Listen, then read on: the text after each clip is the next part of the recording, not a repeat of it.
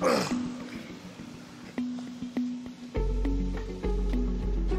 appreciate you coming up here and driving me around. Do you? Yeah.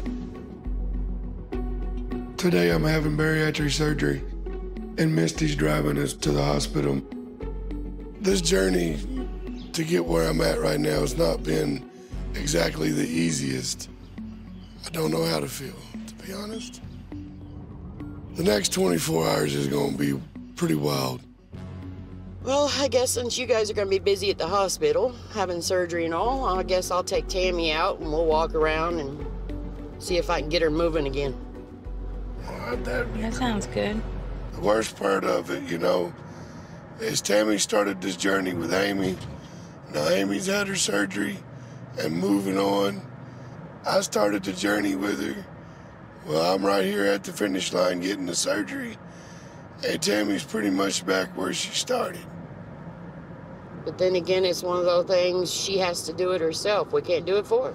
I'm upset, but at the same time, I'm going to be selfish and do it anyway because it's. You gotta do you. Yeah, I got to do it for me. So are you anxious or I- just relieved that it's happening or? Yeah, kind of. You know, I hell, I got to believe that this moment would never come. Chris is going into surgery this morning.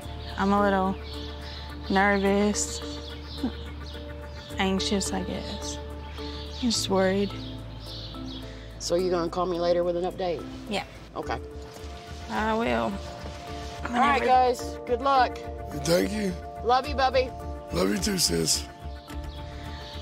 There's always that what if, you know, whenever you have surgery, what if you don't wake up or whatever, but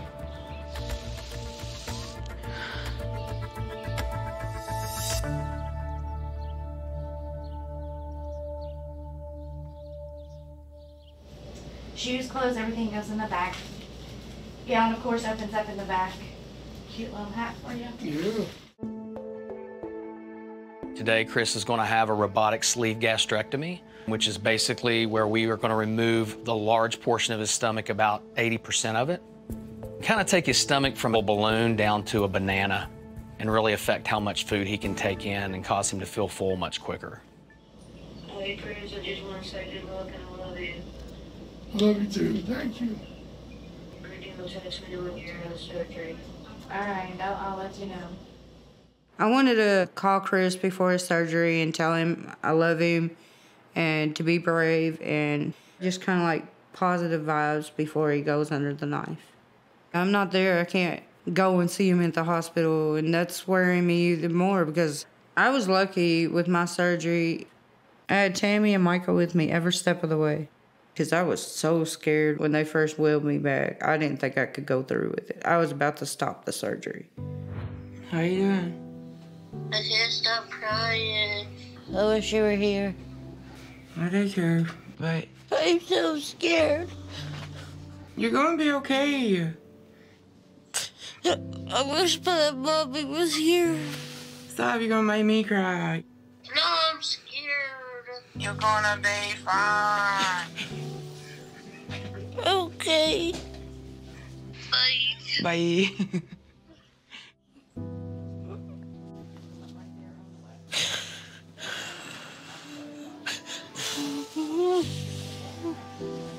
I'm right here.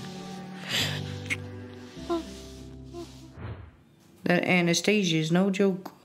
So I'm scared for Chris. There's always a risk when you have surgery. What's up, buddy? How doing, dog? How are you? Did you get any sleep last night? Did you? How about you? You didn't sleep. That's fine. I always say if you're not nervous, I would worry about you more than if you say that you are. It's supposed to be a little nervous. That means you care, right? Yeah.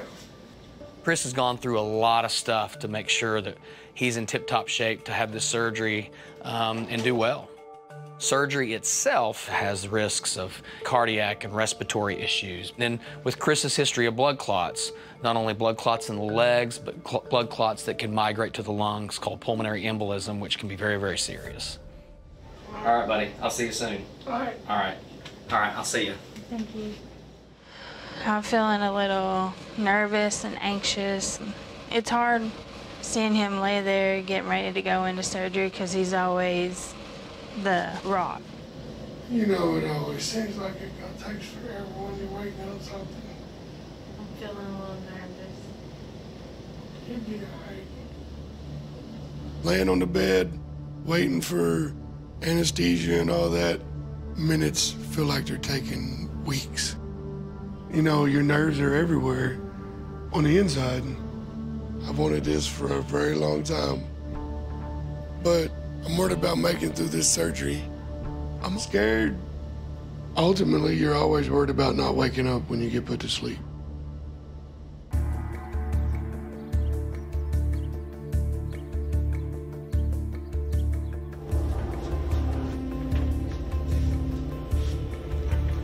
So this morning is the morning we've been waiting for. We're going to do Chris's surgery, and it's been a long time coming. I'm not sure who's more excited, myself or Chris.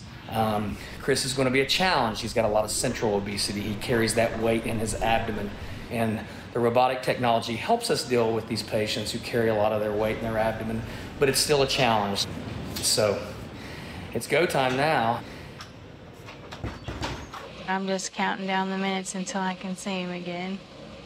Thinking and praying and hoping that he does well with the surgery.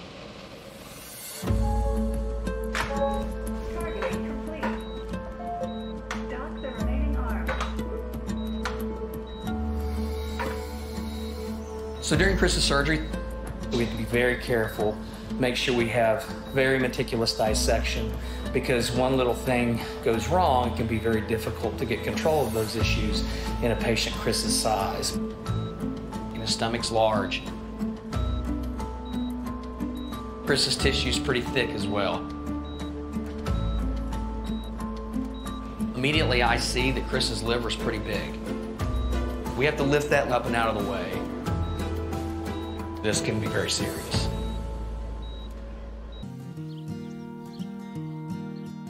Here we go. This hurts, but I'm feeling a little bit better and I'm ready to get the hell out of the hospital. The first day that the surgery was done, it sucked really bad. Anytime you jerked, hiccuped, burped, all that was painful. Home sweet home for the day. You don't want to eat, drink. You don't even want to look at nobody. You just want to lay there and stay in the bed.